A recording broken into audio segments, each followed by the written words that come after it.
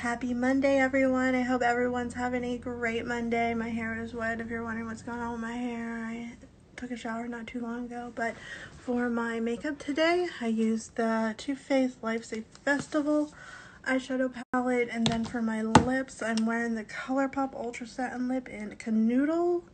Really great color. And yeah, it's my makeup for today. It is a beautiful day. It's supposed to be really nice all this week and I'm so happy for it finally in the 70s and 80s so so beautiful and um I'm gonna have a new like fashion video coming up very soon on YouTube because I got some clothes sent to me so I'm really really excited about them so, has anyone watched the Disney Family Sing Along? It was on ABC a few weeks ago and it's on Disney Plus now, so you can watch it. But it was so good. It, a bunch of different celebrities, actors, actresses singing Disney songs. Well, they're having a second edition that is coming on on Mother's Day, and I'm super excited. It's going to be on ABC, but it will probably be on Disney Plus as well. But I'm so in love with it and Gracie has watched the first one like 500 times. Oh my gosh. It's so good though. Definitely, definitely, definitely recommend it.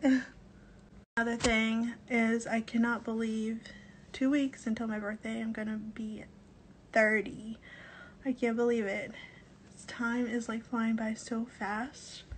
My birthday's May 18th. But yeah, it's so crazy.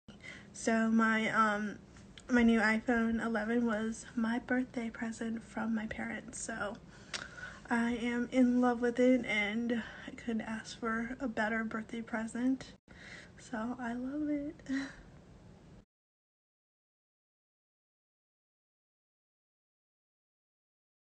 So today is going to be the only nice day this week. I thought it was going to be warm in the 70s and 80s, but today is 73 degrees, but the rest of the week like tomorrow the high is like 57 and the next day the high is 49.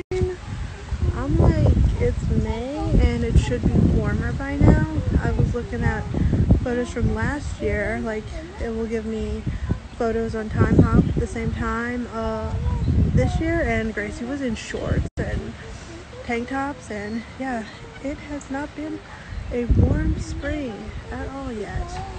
I am waiting for the 70s and 80s because I miss the warm weather.